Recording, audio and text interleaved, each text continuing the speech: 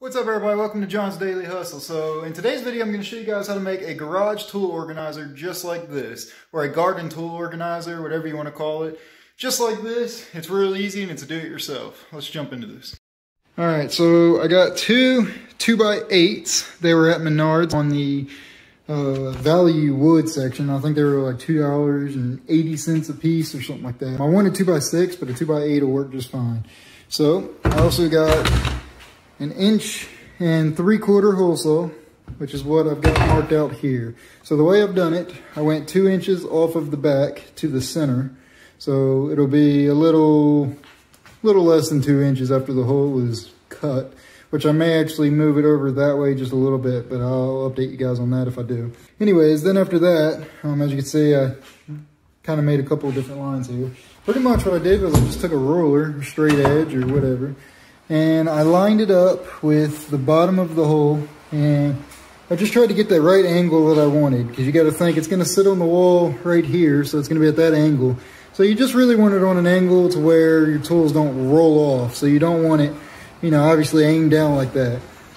I don't really know what the degree is there but after I got the top one marked to what I liked which you can see that's the line and then this is the line. After I got the top one marked to the angle that I like and then I got the bottom one to try and keep it somewhat uniform. You know, I measured, uh, there you go. You can see five inches from there to there. And then I kind of went down the line and just went, you know, five. That one's almost five and a half. It's not real scientific. Um, it's not going to be, you know, completely accurate and that's okay. So I'm going to set this camera up. I'm going to drill these out. I'm going to drill the holes and then I'm going to get the soles Sawzall because, you know, I'm cheap and that's all I got is a Sawzall, cheap soles Sawzall and then I'm going to cut it. And then after I do that, I'm actually going to lay that board on top or on bottom and then take a marker and just trace these out. But I'll show you guys the way just to where that one will match specifically with this one. Alright, so for this next few parts, I wanted to speed this up so you don't get completely bored with watching me drill through the wood.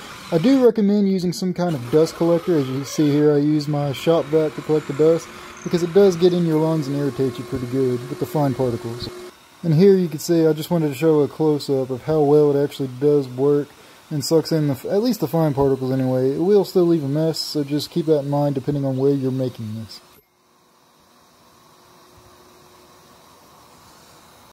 Alright, so now I just flipped it over the other way, and I'm going to finish drilling through. I just flipped it over to where I didn't drill all the way through into the table, which you could have started it this way if you really wanted to. I just did it that way so it was more stable.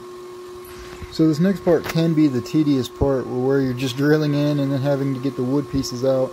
Sometimes they can be a pain when they kind of expand inside that little bit there. If you've ever done any kind of hole drilling, hole saw drilling, then you know exactly what I'm talking about. But it goes through pretty easily though. This is actually probably the easier part of doing this. For me, the hard part was actually cutting it with the sawzall, which you guys will see here real soon. We got all 12 holes drilled out. Now, I'm to try and set this up some way. I might have to use the vise here or something. So I can get a good angle on it. I could probably do it just like that with the Sawzall. But anyways, I'm to set this up somehow. And we're to start drilling out the first one just to give it a try and see how easy it goes. From this angle, it looks like I'm getting ready to put my hand right underneath the blade, but as you can see right there. It's actually far enough away from it, so don't comment that I'm about to cut my hand off on that. I didn't realize it looked like that, it was that close until I started editing this video, but I can promise you guys I was trying to be as safe as I can doing this. So far, it's going alright. You guys can kind of see there. So, I'm going to turn on the vacuum, and we're going to get to cutting and time-lapsing. As you guys can see here, I did go end up getting a jigsaw, which worked way better than using the Sawzall. Much like lawn care, it's always more efficient, faster, and safer to just use the right equipment for the right job. So this was one of those things where I had to buy that, and it went so much easier. I highly recommend you do too. So when you guys are getting your wood, don't be a bonehead like me. You see, it was split.